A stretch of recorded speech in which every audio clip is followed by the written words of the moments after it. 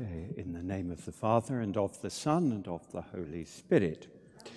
Uh, well, uh, good evening, everyone. Uh, good evening to those here and to those watching this online and those who will be hearing it on Radio Maria. So, this is the sixth of the seven talks, so we're nearly there. Um, After Jesus had taken the bread and given thanks at the Last Supper, he broke it and gave it to his disciples to eat. Similarly, he gave them the cup, bidding them drink from it. So, this is what we have got to now. After the preparation of the gifts or offertory, and after the Eucharistic prayer, we come to the rite of communion. Just a little tiny little footnote there. Uh, what is a rite? And if you look at many of the uh, liturgical books, they will say order of confirmation or order of matrimony, or um, they will say in the future order of the Christian initiation of adults. The order of Mass is the whole thing. But within that, you have bits and pieces. And one of them is the rite of communion. They are called rites, smaller portions within the larger whole. That's by the by. But all this, it, well, now let me quote here uh, Tolkien. Tolkien, uh, as you know, author of The Lord of the Rings, giving spiritual advice to his son. Tolkien went to Mass uh, every day.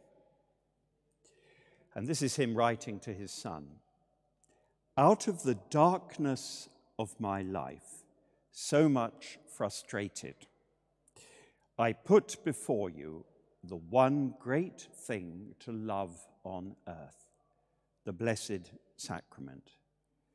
There you will find romance, glory, honor, fidelity, and the true way of all your loves on earth.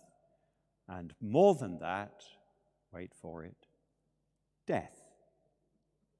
He means a death to self, which actually gives lasting life to all the things our hearts most desire. I put before you the one great thing to love on earth, the Blessed Sacrament. Now, we can say, talking of communion, we can say that the entire divine plan, from creation to the kingdom of God at the end, the divine, the whole divine plan has communion in the fullest sense of the word as its goal. For this, the Son of God was sent, lived, died, rose, and sent the Holy Spirit among us. In his human nature, he is the sign and instrument, the sacrament of communion with God and unity among human beings. It was for this that he prayed in his great high priestly prayer that we find in John chapter 17, which was a Eucharistic prayer, really That they, his disciples, he was looking to the future, thinking of them in different times and places, may be one, even as we, himself and the Father, are one. I in them and you in me, that they may become perfectly one. And again, the very last verse of that prayer I made known to them your name and I will continue to make it known that the love with which you have loved me may be in them and I in them. That's the divine plan. And what is true of the whole divine economy, or the divine strategy, if you like, in our regard, what is true of the whole course of Christ's life, is also true of the Mass which is like a sacramental embodiment of this. The sacrifice made present during the Eucharistic prayer is not complete without the sacred meal. Okay, a sacrifice is completed by eating. The transubstantiation of the bread and wine into the body of blood of Christ is geared to our transformation through Holy Communion. You, you remember the, the prayer we have called the epiclesis when we ask the Father to send the Holy Spirit upon the gifts, like the dewfall, so that they may become for us the body and blood of our Lord Jesus Christ. We pray that prayer, we ask for the Holy Spirit before the consecration, but after the consecration, there is another epiclesis. Grant that we, who are nourished by the body and blood of your Son and filled with his Holy Spirit, may become one body, one spirit in Christ. That's Eucharistic prayer number three. It's clearer in number four. So the Holy Spirit is asked for to change the bread and wine into the body and blood of Christ. And then, after that, the Father is asked to send the Holy Spirit to transform us into the body of Christ. So the Eucharistic body is for the sake of the mystical body, as we call it, which is us as members of Christ. So everything, those are just different ways of, of saying that everything is geared towards communion in, in the big sense of the word, and in, in the Mass, in the liturgy, in the sacramental sense. Okay. Um, well, now I'd like to look at that part of the Mass, which we call the communion rite, which runs from uh, the Our Father when we say, um, of course, one's mind always goes blank when one needs to remember it, but uh, when we pray the Our Father, uh, right the way through to after communion to the com- uh, prayer after communion. And let's walk through it because walk is perhaps the right word because you remember we've been kneeling throughout the Eucharistic prayer and then we stand up through him, with him, in him uh, forever and ever. Amen. Kneeling. Then we stand up and then taught by divine uh, by the divine precepts and so on, we say, we dare to say. And this is all going towards climax of the, the climax of the uh, rite of communion. Well, it's the reception of communion, obviously, but in, in another sense, it's the procession. We don't think of it, but when we're coming to communion, it is a procession. That's the third great procession of the Mass. The first is the opening procession, when the ministers come in and the rest of us stand. The second great procession is at the offertory, when the gifts are brought up. And the third great procession is the procession towards Holy Communion, when we come together. It's not, therefore, just a queue it, it should be corporate, it should be orderly and reverent, a movement together towards the table of the Lord. You know, it, it always makes me think when, when you're, you're, you're, you're celebrating, well, it doesn't always, but sometimes, uh, of that moment in the Gospel of John at the feeding of the 5,000. And Jesus is on the hillside.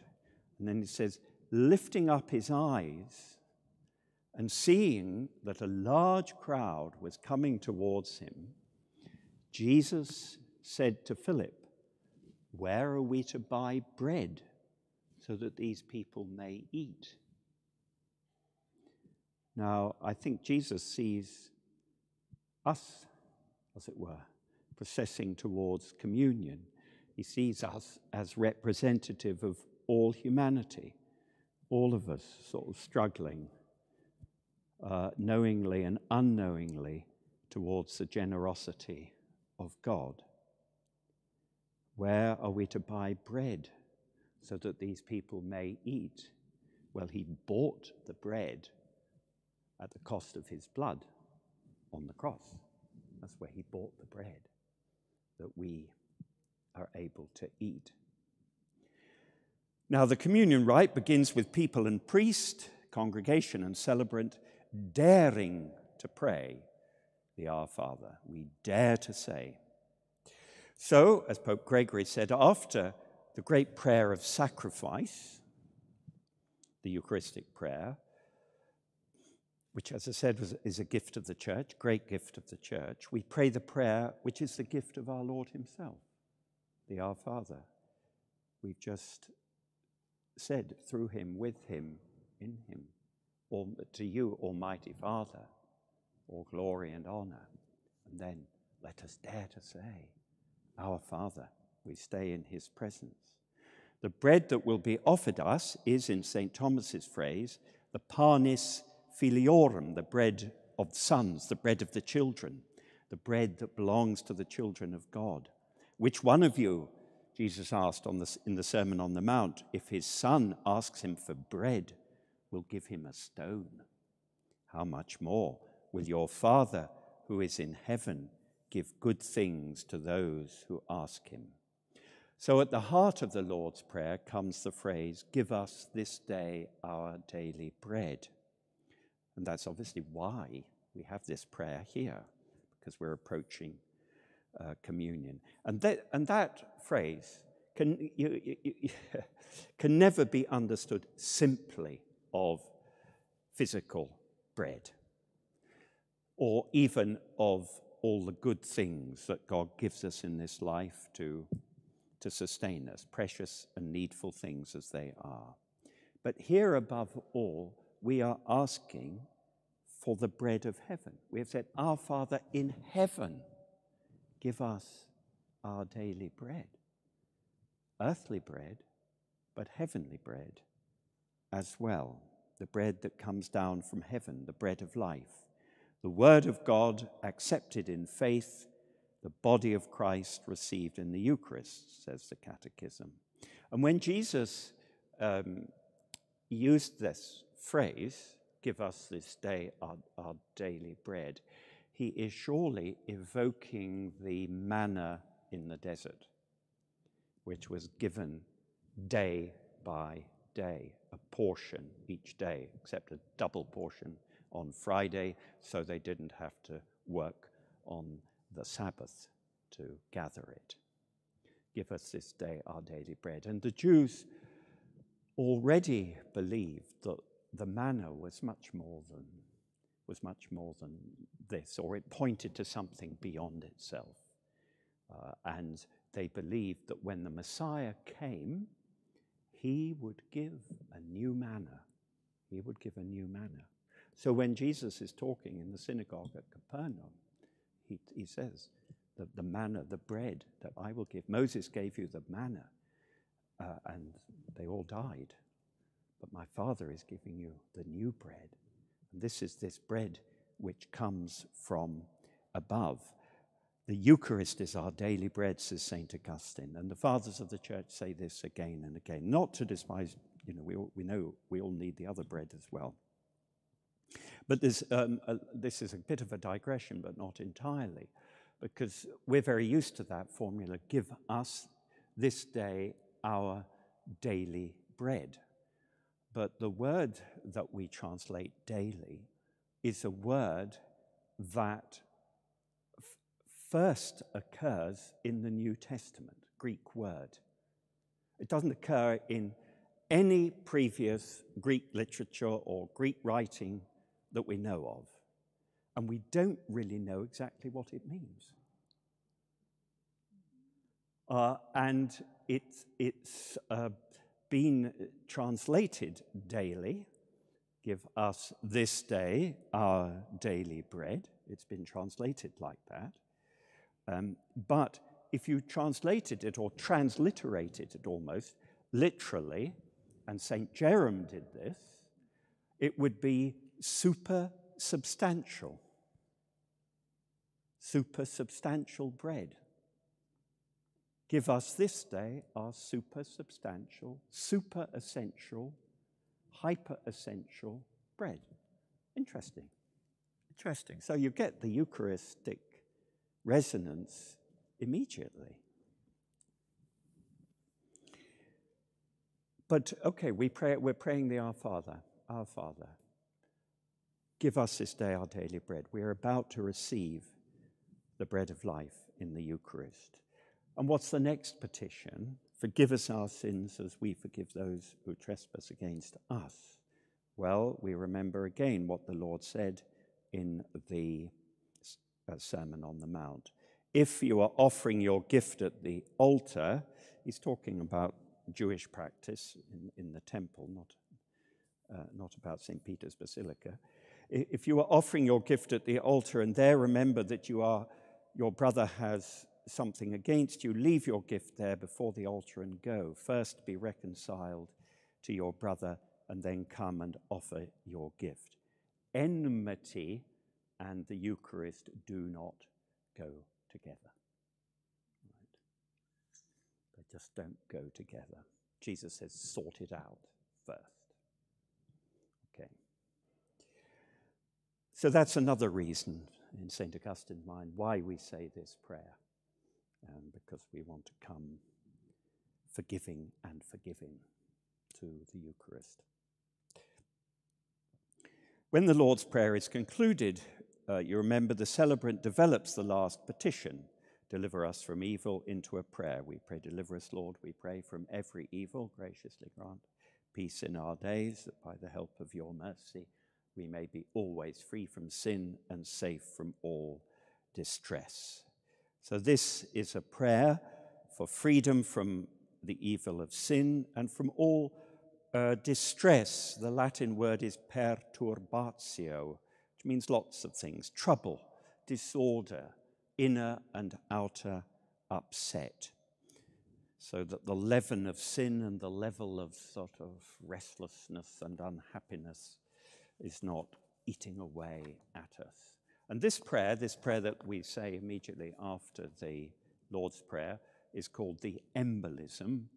There are a lot of these nice, sort of unusual words that you can drop into conversation, uh, uh, but in, that come in the liturgy, embolism. But um, it just actually means an insertion. It's, it's something that's put between two other things. And it ends, you remember, as we await the blessed hope and the coming of our Saviour, Jesus Christ. Now, that's an addition. That's, uh, that wasn't in the old Mass and it's taken from St. Paul's letter to Titus. And it's to orientate us towards the coming, towards the parousia, towards the second coming of Christ. And this is a very important point because there's been a lot of uh, interest, uh, attention given to the Eucharist, the celebration of the Eucharist, as something that brings what is past, namely the Last Supper and uh, the sacrifice of Christ on the cross into the present. Okay, that's that's in many ways how we understand the Mass. But the Mass also brings the future into the present. It is already uh, a trailer, a prelude, a foreshadowing of the second coming. Christ comes to us at Mass as he will come in glory at the end of time.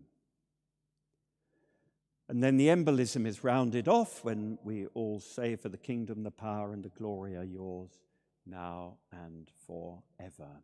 That's a very, very, very ancient prayer. Um, could well go back to the first century.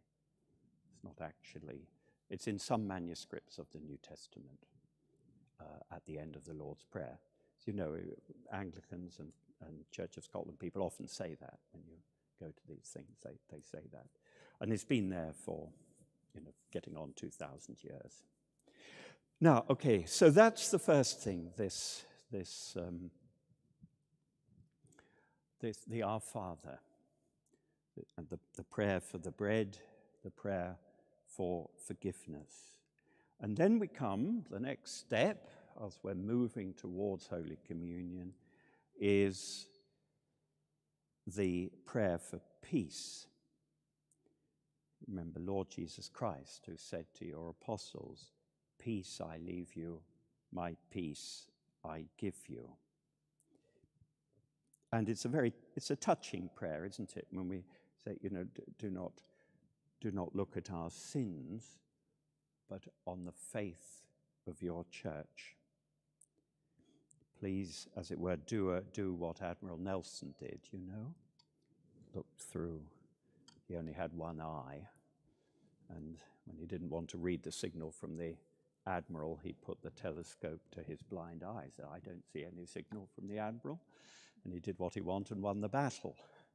Uh, well, we're asking the Lord to put his telescope to his blind eye as regards our sins, but to see our faith as we approach him.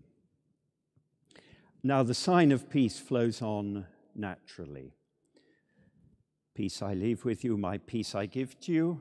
We have just heard. We have uh, that comes from the Last Supper, of course, from Jesus' last discourse. And then um, the, the, priest says, Peace be with you, and uh, uh, offer each other the sign of peace. Now, uh, this, this, there, there, are several things to say about this. Of course, COVID has come into it. Uh, and so we've been a bit more restrained since COVID, or not, either not done it at all or been more restrained. And personally, I think that's lovely. Uh, and that um, I think it, it really is enough to turn to the person beside you. You don't have to go charging around and scrum, throw yourself upon people and kiss them on the lips and, and all of that just to show how loving you are. Uh, it's, that's not the point. That's not what it's about. It's not how wonderfully chummy I am. This is the peace of the Lord be with you, the peace of Christ. I give, not as the world gives, not just as your chums give, this, and this peace comes from the altar. It's very important. It, come, it is the priest who says, Peace be with you. And then he gives it to the people near him, and then, and, and then the people give it to each other. It is the peace of the Lord we're offering to each other. It's not meant to be a rugby scrum or a demonstration of personal friendliness. It, it's a, a reverent entering into that peace which passes all understanding, as St. Paul says, or that unity of spirit in the bond of peace. You probably think I'm being a terrible spoil sport, but you don't want to create schmozzle at this moment when we're approaching, we're approaching Holy Communion. Uh, the Roman liturgy has always had it at this point in the some of the Eastern liturgies, in the Byzantine liturgy, for example, it takes, it's done after the creed, earlier on in the Mass. And when a few years ago there was a synod on the Eucharist in Rome, uh, the, there was a great discussion about this because some of the bishops were unhappy about this, as I say, the rugby scrum aspect of it. And uh, should we do what the Easterners do and put it and put it earlier in the Mass after the Creed. Um, before we go to the altar, as it were. That was the thinking there. Anyway, the decision was no, we, we keep it where it is. This is what the Roman liturgy has always done for, you know, hundreds and hundreds of years. So let's leave it, let's leave it where it is, but do it in a dignified word way. So what are we praying for? You know, the daily bread, nourishment, we're praying for forgiveness. We're praying for freedom from sin and disturbance. We're praying for peace. We're praying for the unity of the church. And these are all, that's what the Eucharist is about. You know, we're, we're, we are being, in the best sense of the word, psyched up to receive communion. And now the focus becomes ever more Jesus himself. We come to the gesture of the breaking of the bread. Well, I, I always remember on a Sunday, uh, it was a great thing um, that, you know, we'd have the roast joint of meat, and uh, my father would carve it. This was a quasi sacramental moment on a, you know, uh, on Sunday. He, he would carve it and put it on the plates, and it would go round, and would go round the family. Well, originally, the breaking of the bread is the same thing. That is what a father, a Jewish father, but I'm sure, you know, done not just among the Jews, but uh, the, the Jewish father of the family would do at a meal, and especially at Passover and the big holy meals, as it were. Uh, he, he would take the bread and break it and then give it to the children. And as we know, in the early church, this gesture gave its name to the celebration of the bread. That was what the Eucharist was called. What we call the Mass was called the breaking of bread. And I think, you know, it was, uh, it was one of Jesus's signature gestures. You know, everybody has their own gestures or little characteristics, little ways of doing things. You know, whether it's pouring the tea or slamming the door or whatever it may be. And Jesus, Jesus liked to, to do this. He liked being at table with people, and he liked, therefore, taking the bread and breaking it. It, it, it, summed up himself in many ways.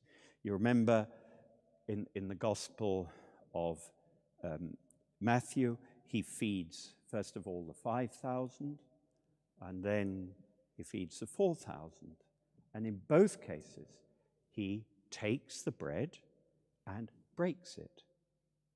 And then he gives it, interestingly, to his disciples to give on to the people.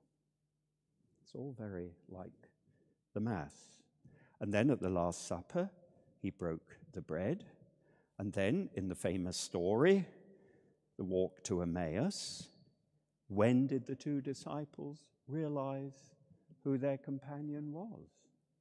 They recognized him at the breaking of the bread. That was it. It was classic Jesus. They suddenly, oh gosh, it's him. You know, that's it. But eh, because, eh, eh, as I say, the whole of him is in that gesture because, you know, he, he at the cost of himself, he was broken on the cross, we might say. He gives himself to us. It's, it's this, he is the bread, and he is broken to nourish us. And yet, though broken, he is not divided. Each child round the table receives the same bread. And we say, don't we, in connection directly with the Eucharist, that Christ is present whole and entire in each particle of the host. The bread that we break, said St. Paul, is it not a communion in the body of Christ? Because there is one bread, we who are many are one body, for we all partake of the one bread. Now, we're used nowadays to small hosts, many small hosts. There's a larger host, uh, and, and for the, the celebrant and other celebrants perhaps, and then many small hosts.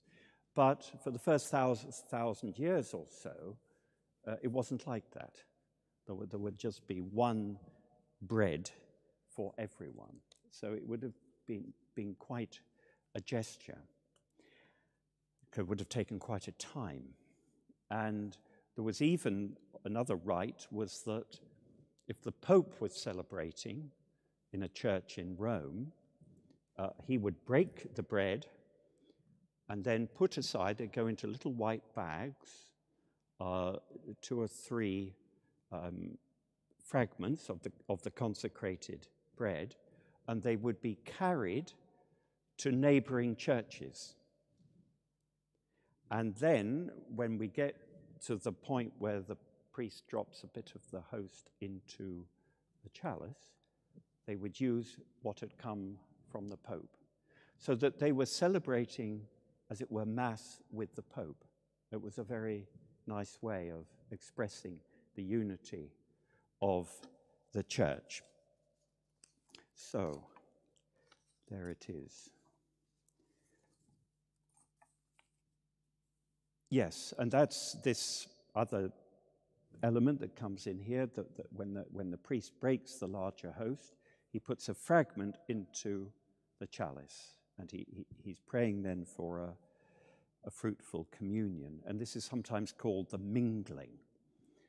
And people love to reflect on possible deeper meanings of this. Why is this little piece of the host put in? Well, at uh, the consecration, the bread and wine are consecrated separately. It's interesting.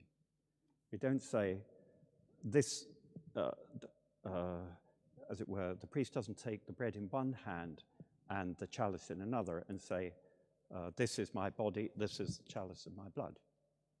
They're done separately because this represents the, the separation of Jesus' own body and blood at the time of the crucifixion. And uh, in a sense, therefore, when the, a portion of the host is put into the chalice, the bread and the wine, the body and the blood, are brought together again. And that is a sign, it is said sometimes, of the resurrection because that's what happened at the resurrection. Jesus was, as it were, broken on the cross. His body and his blood were separated, the blood poured out of his side. In the resurrection, everything is brought together again. So, communion is the, the breakthrough of the risen Christ into our lives. Now, it's all very, uh, I mean, it, it, it, it's all very moving, isn't it? This, I mean, I'm sure you, you I, I don't mean what I'm saying, but what is happening uh, at the Mass. There's a transparency about it. If, if, you, if you go to the Holy Land, I, I've only done it once, but I found you go to some places and uh, Christ seems a lot closer in them than in others. Right?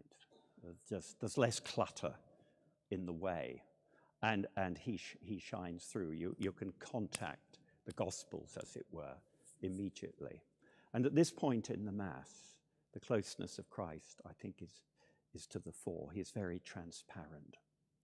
And suddenly, we, we start hearing of the Lamb of God. The Lamb of God. He has been mentioned in the Gloria, but then again Lamb of God, Agnus Dei, Lamb of God who takes away the sins of the world. He's appealed to as the bread is broken. St. Thomas says that the paschal lamb, the lamb of the Passover, is the biblical figure, the Old Testament, as it were, sign of what the Eucharist is about. It's, it's all there.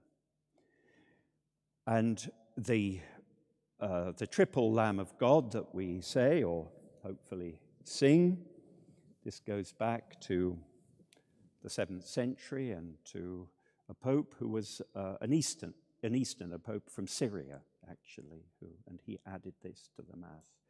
And the Lamb is asked, uh, the Lamb of God, Christ, is asked for mercy. Miserere nobis, have mercy on us, and then grant us peace. We all know there are very beautiful settings of that in the musical tradition of Western culture, right up to today. Many beautiful settings. And uh, in his, um, uh, Beethoven wrote two masses, set two masses to music, and in the his great one, the big one, the, the Missa Solemnis, um, which he wrote towards the end of his life at the same time as the Ninth Symphony, and he took a long time over it. It was a friend of his had become had been made an archbishop, and the, the friend asked him to compose a mass for his uh, ordination as a bishop. Well, Beethoven being Beethoven, it was late. It was late. It wasn't. It, he didn't finish it till about two years afterwards. But uh, it's a wonderful piece of music. But when he writes, when he comes to set Agnus Dei, uh, Lamb of God who takes away the sins of the world, Dona nobis pacem, he, he wrote, because he was living during, lived through the Napoleonic Wars, he wrote uh, above it a prayer for inner and outer peace. And there are, there is the roll of drums that you can hear, as it were, there's, there's the sounds of war are brought in. And then there's this great prayer, and the sound of war dies away. Well, we need that, don't we? Now, the theme of the Lamb runs through the whole Bible, literally, from the first book to the last. The first act of human worship we find in the Bible is the offering of Abel, son of Adam and Eve. And it's what does he offer? From his flock, the firstlings of his flock. And then hop, skip, and a jump to the last book, to Revelation, the Apocalypse. We're given visions of the heavenly liturgy, and at the center of the heavenly liturgy, there is the Lamb. The Lamb in the midst of the throne. The throne is God the Father, the Lamb is the Son, and the Lamb is slain but standing. In other words, crucified but risen. And he is the center of the heavenly liturgy, and the whole of creation um, worships him. In, in the image of a lamb, there's the whole mix of suffering and triumph, of innocent victimhood and divine vindication. Christ is the paschal lamb par excellence. So, this very much comes to the fore. It is the lamb. This is our Passover. This is our Passover. Right. The priest then genuflects in adoration. The divine lamb is sacramentally present. And then he holds up the consecrated host. Uh, and he can also, the, the, last edition of the Missal, he can also uh, hold up the chalice beneath it. So he shows the people both the body and the blood of the Lord. It's optional. But that's, I find it very powerful, that, because here's the Lamb of God whose blood has been shed. And again, they're, they're brought together. So this St. Thomas Aquinas says, I mean, as well as you don't need St. Thomas Aquinas to say it, but if you're going to have a proper meal, you've got to eat and drink. You know, if you just have a drink, that's not a meal. And if you just have a piece of bread, that's not a meal. A meal you have to eat and drink. And so, in the paschal meal also. There follows the invitation to communion. This is always a moment, isn't it? Behold the Lamb of God, behold him who takes away the sins of the world. Blessed are those called to the supper of the Lamb. Twice then we are invited to behold, to behold. The, the previous translation said, This is the Lamb of God. No, no, no. It's much better. Behold the Lamb of God. Look at him. Look at him. Look at him. Uh, with the eye of faith. And those, that word, behold the Lamb of God, who takes away the sins of the world, as we know, those are the words of John the Baptist at the very beginning of the Gospel of John. Uh, it's an interesting thing, one commentator pointed out. Uh, if, if that was by the Jordan, and the number of lambs slaughtered in the temple, killed even on a daily basis in the temple, was considerable. And at Passover, massive. Every family brought along a lamb to be slain. Imagine how many lambs that was. And uh, there's this rather nice. John the Baptist is standing by the River Jordan, and all these lambs, it's on the road going up to Jerusalem, and all these lambs, there are thousands of lambs around or being sent up to the market for the Passover. So the plate, ba, ba, ba, ba, ba, ba, ba, ba, ba, everywhere.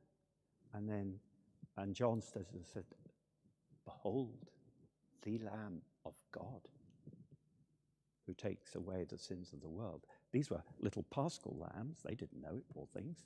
Okay, going up to be slaughtered. And he points out, Behold, the Lamb of God. And John called himself a voice.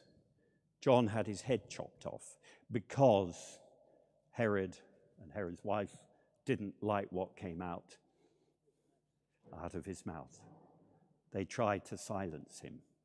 And just think that his words are heard now every time the Mass is celebrated in the Roman Rite throughout the world. How many times each day? So you can't silence the truth. Behold the Lamb of God. And then the next line, this is new, is taken from the Apocalypse. And it's a saying of an angel Blessed, um, blessed are those called to the supper of the Lamb. Now, that comes from, as I say, the book of Revelation, where the Lamb of God, the Lamb is mentioned 28 times. The Lamb is the center of the last book of the Bible. And actually, the full version of what the angel says is Blessed are those invited to the marriage supper of the Lamb. We, we just have Blessed are those called to the supper of the Lamb. But this is, uh, it, the, the Bible actually says the marriage supper of the Lamb. And that's true. The, you can use, you, obviously, you've got to be a bit careful and restrained about it, but you can use marital imagery for what happens at communion. Obviously, you can. And uh, the, the, the bride is joined to the bridegroom, united in body and spirit. Lord, I am not worthy that you should enter under my roof, but only say the word, and my soul shall be healed. Well, we've heard the words of a prophet, and, and we've heard the words of an angel. And now we come down with a bang to a Roman army officer. Poor fellow, very distressed about the state of his servant, who is suffering terribly, he says. And he goes to Jesus. He's not a Jew, but he recognizes something in Jesus. And he makes this wonderful act of faith. He said, Look, I know you don't even have to come to my house. Because you're a Jew and you, you, wouldn't, you wouldn't want to go into the house of a Gentile anyway. You wouldn't do that. So he's being very polite. And, and I know you have the power to do it. And Jesus is actually, to put it into modern English, Jesus is wowed by that. He says, I've never met faith like this in Israel. Uh, this, is, this is amazing. This is amazing, this man. So it's a beautiful act of faith and humility. And as we know, uh, the, the servant was cured. So when we say it, we change servant, that the man says, that the, the, the soldier says, um, My servant will be healed. Just say the word, and my servant will be healed. We say, My soul will be healed for obvious reasons. Uh, now, we, have since the new translation came in in 2011, uh, in, in the English version, Roof has come back. Roof was always there in the Latin, but it just said, I'm not worthy to receive you, I think was the old form. Not worthy. And then Roof came back. And I remember some people saying, oh, what's this roof doing there? What, what, uh, I don't I, I haven't got a roof. What does it mean? And I thought, well, Use your imagination, for goodness sake. You know, I mean, can't we speak of ourselves as a house? Uh, and St. Teresa of Avila talks of the interior mansions. So I think it's rather inspiring to think of, of uh, Christ, Jesus visiting us in this sacrament as he visited the houses of people during his life. He didn't go to the house of the centurion because he did heal him by a word. He did what the centurion asked, but he does come to us. The communion procession follows. As I say, uh, we go forward, we go forward. And uh, it's not just a me thing, an individual thing. Um, this procession is us, it's we, it's the worshipping assembly once again, the church gathered in this place, going forward as one to receive its Lord. And the sacrament, under one or two kinds, is brought by the celebrant to the people. Uh, and th- that is very important. It, it's not, I mean, this has happened sometimes and it is an abuse. I don't mean it's happened here. Uh, that um, the Eucharist is not self service, it's not a buffet. It's not a buffet. You don't, uh, God, we don't just leave all the hosts and, and, and the chalice on the altar and say, well, come up, chaps and guys, and help yourself. No, it, it is given. It's a gift from the Lord. It comes from the altar again, which is a symbol of Christ, and it comes through the appointed ministers. Just as Jesus gave the bread that he multiplied to the 5,000 and 4,000 to the people through his disciples. And uh, the ordinary minister, to use canonical language, the ordinary minister of Holy Communion are a bishop, a priest, or a deacon. And it's their privilege and their right and duty. Now, we're blessed to have people who help us um, because of numbers and so on. But uh, I, I find it a very, very moving moment in the Mass when you are giving Holy Communion. And, and, and you've got all these different people, some more focused than others, one must say. Uh, but you've got all these faces that come to you one by one. And there's so much written on faces. You know, everybody's got their story, everybody's got their suffering and their joy, and, you know, uh, everything that's wonderful and everything that's a bit weird and so on. It's all there, and they and they come up. It's a very, it's a very, uh, I find a very moving moment. But uh, the Eucharist is a gift that is from outside us and from above us, and it's mediated to us. It is my Father, said Jesus, who gives you the true bread from heaven. We have this phrase, don't we, in common English nowadays with fast food. I, uh, let's grab something to eat. I'm going to grab something to eat. It's dreadful. I mean, I use it myself, but it's a dreadful thing to say. You know, grab something. You don't grab it. You know, even ordinary food, you don't grab it. You might if you're desperately hungry, of course. but there we are. Now, okay, hop, skip, and a jump. There's so much. It's, it's the messiest part of the Mass, isn't it? The giving of Holy Communion. It's the most, it's, and it can be a bit fraught if, uh, for, for, for if you're giving Holy Communion or you're one of the extraordinary ministers and and so on. It can be fraught for people receiving Holy Communion as well, and it's all a bit of a mess, and it needs organizing, and it never quite works properly, and all of that. But uh, before giving Holy Communion to the communicant, the minister shows him or her the consecrated host and says, The body of Christ. And we all know the answer. Amen here means yes, indeed so it is. But interestingly, that Mass, that Amen, was not in the Old Mass. The recipient said nothing. Said it was, May the body of Christ keep you to everlasting life. And nothing was said. I think it's very salutary that Amen is said now. It gives the person an opportunity to profess their faith in what is being given them.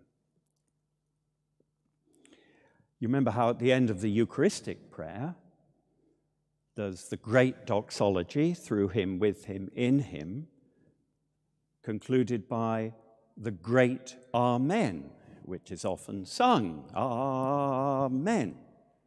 That's the great Amen. This is a small amen. This is a personal amen. The body of Christ, amen. It, it shouldn't be omitted, it shouldn't be mumbled. Uh, I, I get, if, if someone doesn't say it, I hesitate because I want to hear them say, Amen. Yeah, I believe, yes. So be it. So it is. Okay. Right. We're getting there. We're getting there. So there's that great Amen and there's that small Amen, and they're both key a corporate Amen and a personal Amen. Now, okay, we're, we're talking here about receiving Holy Communion. This is holy ground, of course, and at the same time, as we know, it's a minefield. Uh, in every way. If it's the burning bush, well, the burning bush is a thorn bush.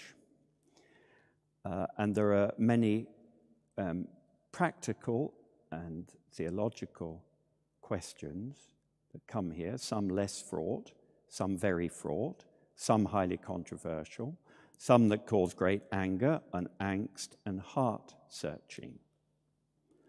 You know the kind of thing I'm talking about. They may be the manner of receiving the, the Eucharist. Do I receive on the hand? Do I receive uh, on the tongue? But there may be much bigger issues. Uh, if I am divorced and remarried, why can I not receive? If I am an Anglican married to a Catholic, why can't we come to Mass together and I receive at the same time? And so on. And there are books and books and more than books about all these things in the blogs and everywhere. Now, I can't obviously uh, go into all these things, or even really any of them in particular. One would need all day. But it, it's interesting. aye just want to, uh, I hope this helps much to say. There's that great Scottish phrase, it's I been. It's always been like this. And it has. It, the, the paradox is that the Eucharist, which is the sacrament of unity, is often the place where there is an awful lot of disunity. There's an awful lot of squabbling and quarreling and fighting goes on. It's a mystery, that. It's a mystery. But it seems to be part of the package. If you just go back to the Bible, in John chapter 6 is the first explicit mention of the Eucharist, when Jesus ends that great discourse by saying that we must eat his flesh and drink his blood. What happens? There's a schism, there's a walkout of the disciples. Many of them no longer went with him. This is a hard saying. Who can listen to it? It was a, it was a moment of division. Think of the Last Supper. What's going on? Apart from the passion looming, there's Judas. One of you will betray me. It's the one who will take the bread that I will dip in the wine. It's an anti communion that Judas has. And he goes out, and as John says, it was night. The Eucharist is celebrated under storm clouds. Why do we have, in the first letter to the Corinthians, the earliest description of how the first Christians celebrated the Eucharist? Because things were going horribly wrong. That's the only reason why Paul mentions it. Because people were getting drunk, uh, because there was a meal beforehand. People were being horrible to each other. Uh, he was saying people are, in our language, receiving the sacrament unworthily. That's why, that's why we've got that. We wouldn't, we wouldn't know. We wouldn't have anything. For, he would never have mentioned it if it was all hunky dory. We only have it. And so the Eucharist is where the battle rages, perhaps. And perhaps this is a reminder that we are only, still only on the way.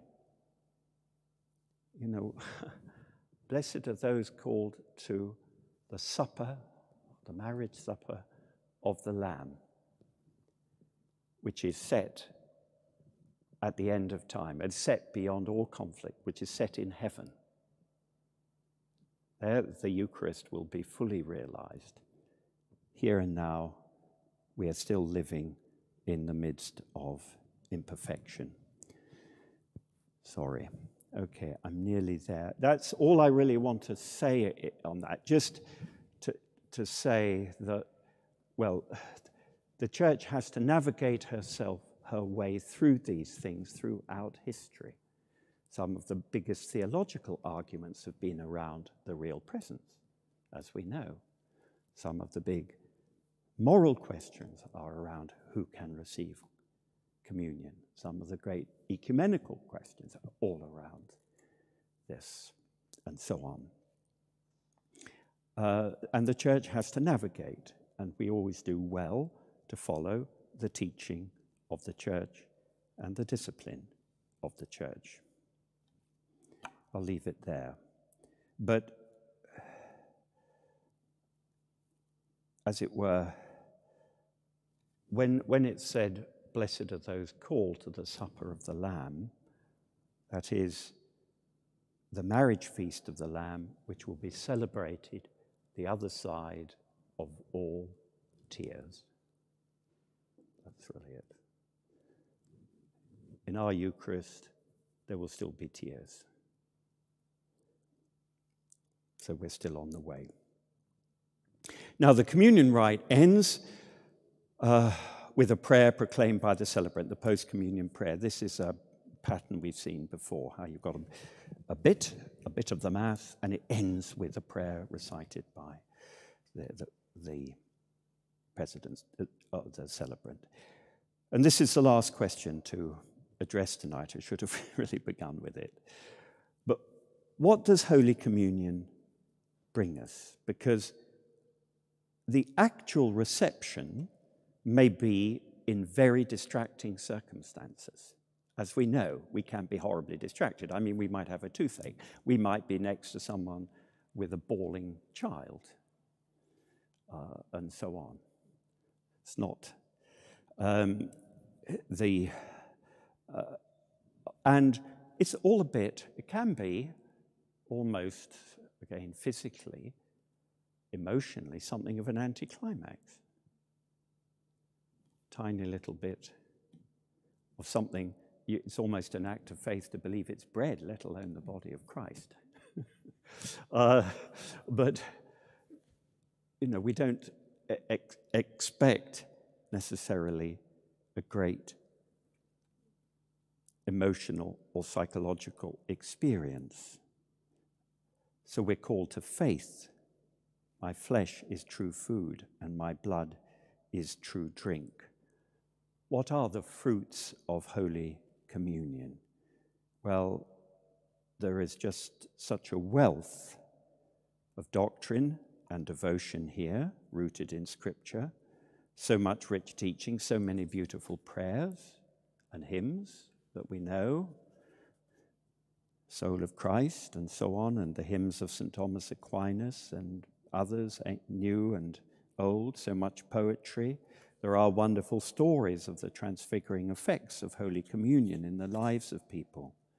There are, there are moving tales from people who've been in prison on the gulags and the concentration camps and priests who managed somehow to celebrate the Eucharist. One Vietnamese archbishop, he just had a tiny bit of bread and just a little drop of wine he managed to get in, on, on his palm. He just got a little bit of wine on his palm, and he was able, against all the rules, to celebrate the Mass every day. And he says that's what sustained him. It would be an interesting exercise to go through the post communion prayers.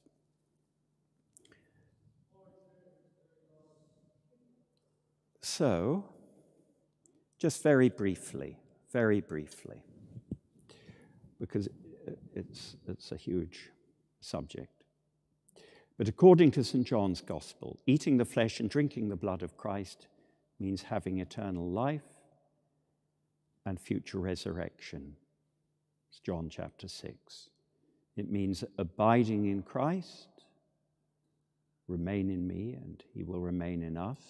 Christ, us. It means living because of Christ. As I live from the Father, so he who eats me will live because of me that means from me and for me. According to St. Paul, we who are many are one body, for we all partake of the one bread. So through Holy Communion, we are united with Christ, and through Christ with the Father and the Holy Spirit, and at the same time, we are united with each other. As the fathers love to say, fathers of the church, we become what we receive. We receive the body of Christ and we become the body of Christ. That's the miracle. And it's not so much we who receive Christ as Christ who receives us. We are assimilated to him and he fulfills himself in us. You could, it's good to see it that way. It's not me receiving Christ, it's Christ receiving me actually. When we eat food, that food becomes part of us. When we eat Christ, we become part of Christ. It's a wonderful thing. And here's another thought. I have to say it's not original, but it struck me. Uh, that Jesus is, as it were, uh, fulfilling himself, growing himself, growing his body in the moment of communion. Jesus was a first century man. He was a Jew. He wasn't a woman. Uh, he wasn't a Gentile. He was celibate. Uh, he never had a family. He wasn't African. He wasn't American. He wasn't European. He wasn't Chinese. He didn't experience old age um, other things it didn't experience. But in us, through Holy Communion, he does. He enters our old age, if you know, if we are old, not you. uh, and uh, we, so uh, if, if he enters Chinese people who receive him, it's that intimate. It's an interesting thought, that. Now, I began with Tolkien calling the Blessed Sacrament the one great thing to love on earth. Now, here are some lines, most original, I think, from a woman poet whose life partly overlapped with his. She was a Catholic like him, Alice Meynell. And she always, like Tolkien, she's got a sort of the lay, the lay take on things, which is often a bit fresher than the clerical take, and quite, quite uh, original. And it's, it's a poem about an experience that she had. Uh, she was at Mass. This might help people who are, are, when they're in positions when they cannot receive Holy Communion themselves. She was at Mass, and next to her was someone she didn't know, a man she didn't know. And he goes up to communion and comes back to his seat. And she doesn't go to communion. Instead, have you ever thought of this? Instead, she prays to Christ present in the unknown man beside her. Right. The poem is called The Unknown God, and these are just a few lines. O Christ, in this man's life, this stranger who is thine, in all his strife, all his felicity, his good and ill, in the assaulted stronghold of his will, I do confess thee here, alive within this life. Christ, in his unknown heart, his intellect unknown, this battle and this peace, this destiny that I shall never know. Christ, look on me. Christ in his numbered breath, Christ in his beating heart and in his death, Christ in his mystery, from that secret place and from that separate dwelling, give me grace. Glory be to the Father, and to the Son, and to the Holy Spirit, as it was in the beginning, is now, and ever shall be, world without end. Amen. Okay, thank you. Sorry, I, meant it to be shorter, and it was longer. anyway.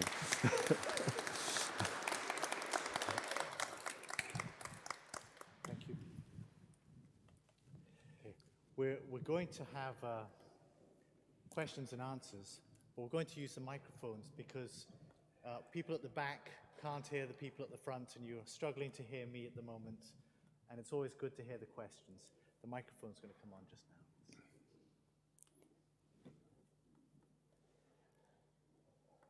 One, two. Okay, wonderful. So we're going to have questions and answers, and it, it would be good if, when you ask the question, that you ask it through the microphone so we can all hear it, because I've, I've certainly been just at the side and not being able to hear somebody asking the questions.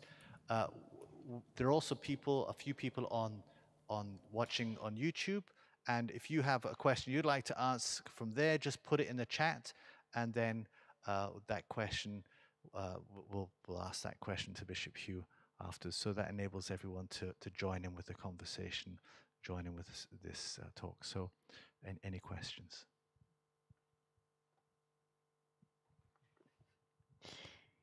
It's, um, it struck me when you talk about peace, because you've been talking about transformation during the whole talks, but rather today, the gift of peace and as a gift from God, but uh, humanity hasn't assimilated.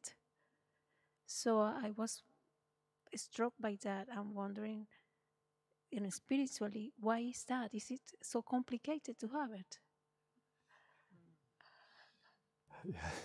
Yes, that's a good question. it, does appear to be very complicated, doesn't it? Yes. Uh, and, you know, Jesus does say, you know, it's my peace I give you, not as the world gives. And uh, world peace, as we know, especially at the moment, is always very fragile. And our own uh, mm, of mental, psychological, emotional peace is very fragile. It just needs somebody to say something to us, and off we go, and we're, we're upset. Uh, so there must be a distinction somewhere that uh, there, there is this peace that comes that is, that is ultimately the peace of the, the union of the Father and the Son. And that is what we are introduced into through the Eucharist, I think.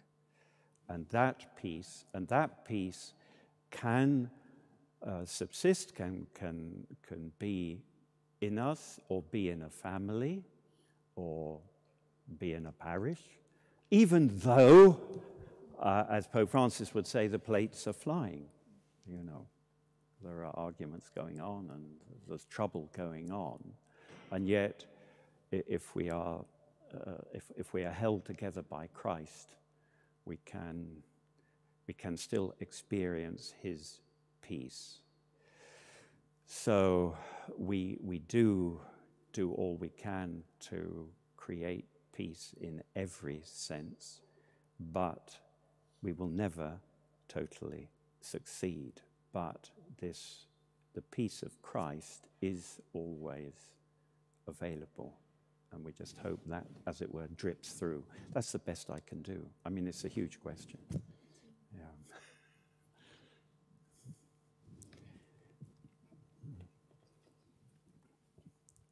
Thanks.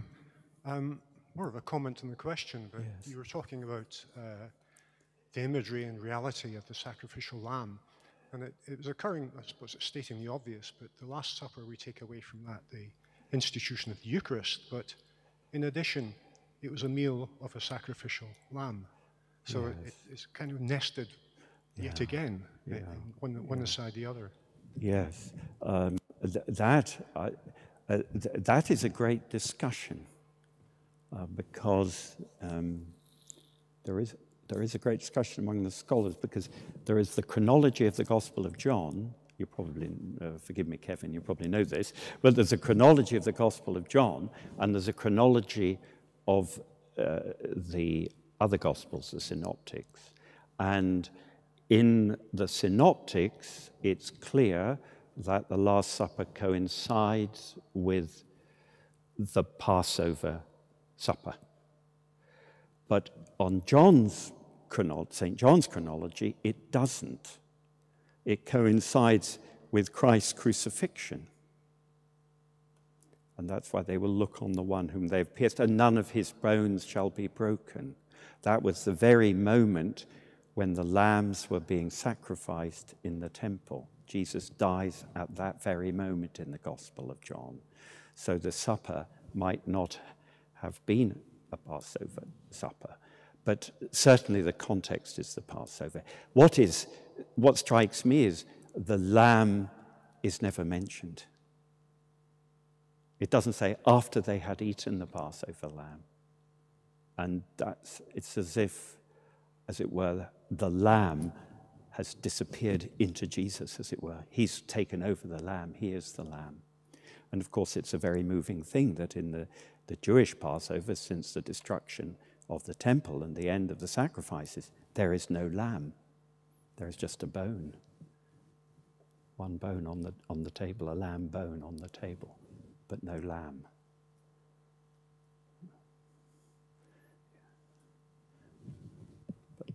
Yeah, it's fascinating stuff, really.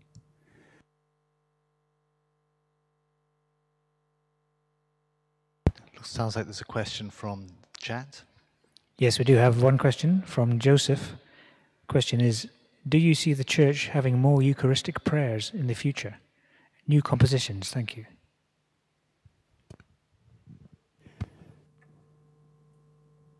I'm not a prophet. so I don't know.